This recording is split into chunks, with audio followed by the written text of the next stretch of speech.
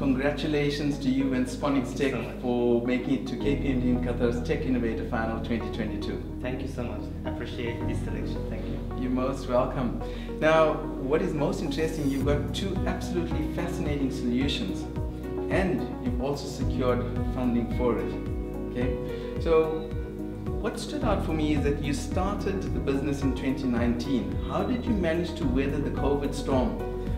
Um, you know, exactly like many other uh, businesses, we, faced new um, situation. So from some point that was very challenging, uh, especially everything changed, uh, the way of working and uh, many other challenges that we faced.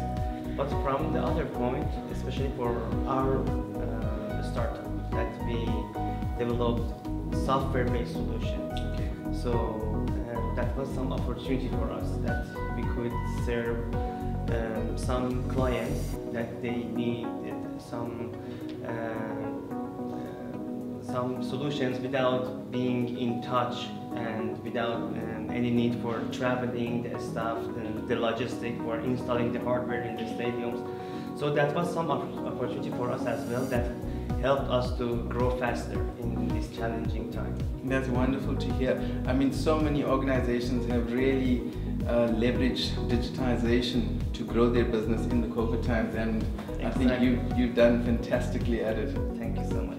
So, what would it mean for you to win this competition?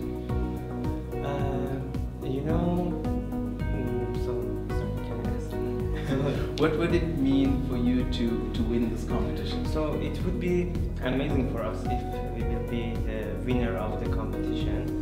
Uh, it would be amazing for us to be the uh, innovator uh, in tech, in tech innovator of the year from KPMG. We received different awards in recent months, but uh, obviously this one is very valuable for us as well.